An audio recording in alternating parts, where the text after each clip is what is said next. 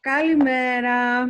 Σοφία, σε ευχαριστούμε, σε ευχαριστούμε πολύ που είσαι μαζί μας ως πιο ειδική στην εξαποστάσεως εκπαίδευση και ε, στους ανοιχτούς, ανοιχτούς εκπαιδευτικούς πόρους. Θέλαμε να μας βοηθήσεις λιγάκι, αν μπορείς, και να, να μας μιλήσεις λιγάκι για τα αποθετήρια των φωτόδεντρων. Ωραία. Ευχαριστώ που με καλέσατε.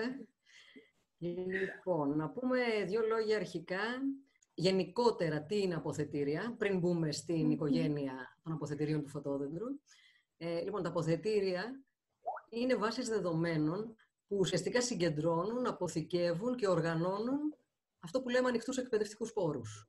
Οι οποίοι τι είναι οι ανοιχτοί εκπαιδευτικοί πόροι; Ε, είναι κάποιες πηγές σε ψηφιακή κυρίως μορφή, μπορεί να είναι και σε έντυπη, αλλά είναι κυρίως σε ψηφιακή μορφή, οι, οποίες, ε, οι οποίοι πόροι διατίθενται με ανοιχτές άδειες, δηλαδή ουσιαστικά άδειες Creative Commons, όπως θα μπορείτε να δείτε και στο σχετικό υλικό, ε, είναι διαθέσιμοι για χρήση, επαναχρησιμοποίηση και προσαρμογή στο δικό μας, στη δική μας σχολική τάξη, στο δικό μας περιβάλλον μάθησης ουσιαστικά ε, και διατίθενται με στόχο τη διδασκαλία, τη μάθηση και την έρευνα. Πολύ σημαντικό, δηλαδή ότι είναι προσανατολισμένοι στην εκπαίδευση. Έτσι, αυτή η πόρη. Τώρα, το φωτόδεντρο είναι η κεντρική υπηρεσία που έχει αναπτύξει το Υπουργείο Παιδείας για να οργανώσει και να διαθέσει αυτούς τους σπόρους στην ψηφιακή τους μορφή και να τους διαθέσει στις σχολικές κοινότητες. Ωραία. Και πώς ακριβώς έχουμε πρόσβαση σε αυτά; Λοιπόν, έχουμε πρόσβαση σε αυτούς τους σπόρους, σε αυτά τα αποθετήρια, μπορούμε να πούμε μέσα από την κεντρική πύλη του Υπουργείου Παιδείας για ψηφιακό εκπαιδευτικό περιεχόμενο. Ε, θα σας κάνω μια πλοήγηση αμέσως, μετά να το δείτε, ή κατευθείαν να μπούμε στα αποθετήρια φωτόδεντρου, στο συσσωρευτή και να έχουμε πρόσβαση κατευθείάν. Λοιπόν, θα σας ξεκινήσω μια πλοήγηση, να δούμε και τους δύο αυτούς τρόπους. Mm. Εδώ είναι ο πρώτος τρόπος που σας είπα, είναι το dschool.edu.gr, το οποίο αποτελεί την κεντρική πύλη των υπηρεσιών για το ψηφιακό εκπαιδευτικό περιεχόμενο, όπου μπορείτε να δείτε. Εδώ πρώτα είναι τα διαδραστικά σχολικά βιβλία. Στο κέντρο είναι τα αποθετήρια ανοιχτών εκπαιδευτικών πόρων, όλα τα αποθετήρια της οικογένειας Φωτόδεντρο, τα οποία διαφέρουν το ένα από το άλλο, διότι περιέχουν έναν διαφορετικό τύπο, μια διαφορετική κατηγορία ανοιχτών πόρων, ψηφιακού περιεχομένου. Ε, εδώ βρίσκεται ο συσσωρευτής, ο οποίος αποτελεί τον τρόπο, την πύλη ουσιαστικά για να κάνουμε την αναζήτηση μέσα σε όλα αυτά τα αποθετήρια. Ψάχνει δηλαδή όλα αυτά τα αποθετήρια για να μας φέρει αποτελέσματα πάνω σε αυτό που ζητάμε.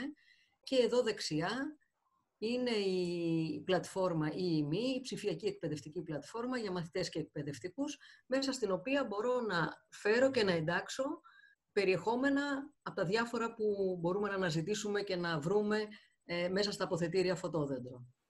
Λοιπόν, αυτός είναι ο πρώτος τρόπος πρόσβασης. Αν έρθω εδώ, κάνω την επιλογή τους συσσωρευτή, θα με φέρει στη δεύτερη πλατφόρμα που είναι ο Εθνικός Συσσωρευτής για τα αποθετήρια της οικογένειας Φωτόδεντρο. Σε αυτόν τον ε, συσσωρευτή μπορώ να έρθω κατευθείαν αν πληκτρολογήσω φωτόδεντρο edu.gr.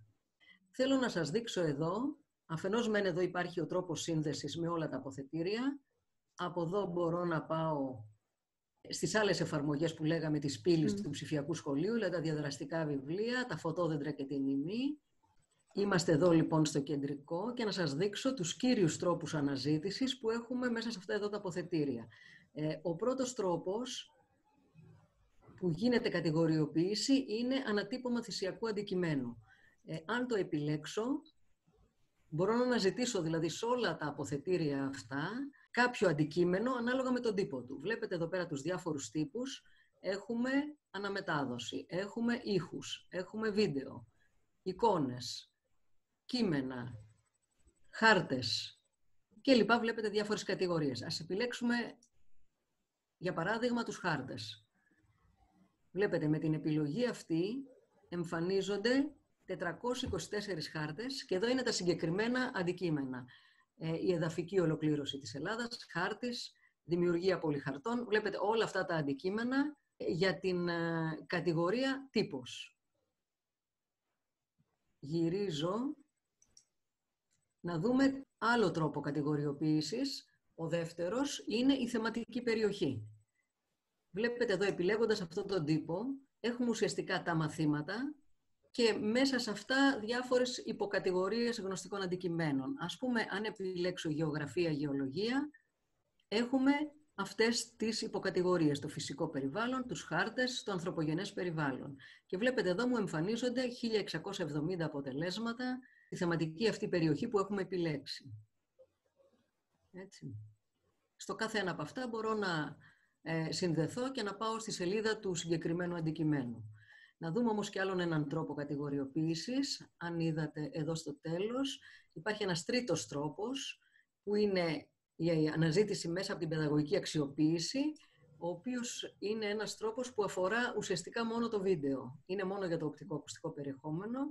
Ε, είναι ένας τρόπος για να, το, να αναζητήσεις βίντεο και να τα εντάξεις μέσα στην ε, τάξη σου, ε, επί παραδείγματι βίντεο για εισαγωγικές δραστηριότητες. Δηλαδή δραστηριότητες οι οποίες μπορούν να δώσουν ένα κίνητρο, να ζωντανέψουν το μάθημα και να ε, ξεκινήσει η ενότητα μέσα από αυτή τη δραστηριότητα. Ή βίντεο τα οποία αφορούν τη δραστηριότητα πλούσιας οπτικής πληροφορίας. Βλέπετε εδώ έχει και υποκατηγορίες που μπορούμε να πάμε πιο στοχευμένα και εδώ είναι τα βίντεο τα οποία ε, προτείνονται για την ε, πλούσια οπτική πληροφορία. Ωραία. Αν, αν καταλαβαίνω καλά, Σοφία, περισσο... υπάρχει ένας εκπαιδευτικός προσανατολισμός ε, στα φωτόδεντρα, γιατί η ερώτησή μου θα ήταν γιατί να αναζητήσω υλικό στο φωτόδεντρο και όχι σε κάποια άλλη μηχανή αναζήτησης. Αλλά αν διέκρινα καλά και διόρθωσε με σε αυτό, είδαμε ότι μπορείς να πας με βάση παιδαγωγικά χαρακτηριστικά που μπορεί να έχει ναι. κάποιο υλικό ανεβασμένο εδώ, αλλά επίσης μπορείς να πας και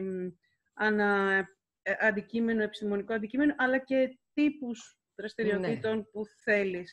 Τα λέω σωστά; Λοιπόν, το, το πολύ σημαντικό είναι ότι η πληροφορία είναι οργανωμένη με πάρα πολλούς τρόπους. Όπως είδατε, δείξαμε ήδη τρεις τρόπους.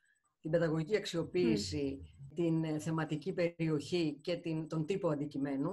Φυσικά μπορούμε και με λεξικλειδί να κάνουμε κάποια αναζήτηση και σιγά σιγά να εστιάσουμε.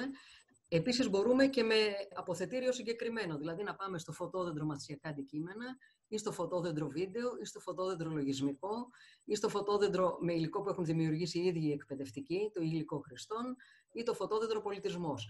Δηλαδή έχουμε πολλούς τρόπους αναζήτησης, υπάρχει πολύ οργανωμένη αναζήτηση και μάλιστα υπάρχουν και τρόποι, προτάσεις για σενάρια διδασκαλίας με ποιον τρόπο να τα εφαρμόσεις μέσα στην τάξη σου. Και είναι ελεύθερα, έτσι. Δηλαδή, μπορεί ελεύθερα ο καθένας να μπει και να πάρει. Ελεύθερα είναι πολύ σημαντικό, διότι οι άδειες εδώ είναι οι Creative Commons, είναι ανοιχτές άδειες. Υπάρχουν τέσσερις κατηγορίες αδειών και καθορίζουν με ποιον τρόπο μπορεί να το εντάξει στην τάξη σου, αλλά ουσιαστικά είσαι, είναι ελεύθερες χωρίς κανέναν προβληματισμό να το αξιοποιήσει. Ο σχεδιασμός είναι η παιδαγωγική αξιοποίηση στην τάξη. Δηλαδή είναι προσανατολισμένες για την τάξη και να υποστηρίξουν τον εκπαιδευτικό στο έργο του. Ωραία. Εδώ όμως πρέπει να τονίσουμε ότι είναι καλό να τις γνωρίζει ένας εκπαιδευτικός. Πριν δηλαδή επιλέξει κάτι που θα εντάξει μέσα στην τάξη του, θα ήταν καλό να έχει ψάξει λίγο το περιεχόμενο.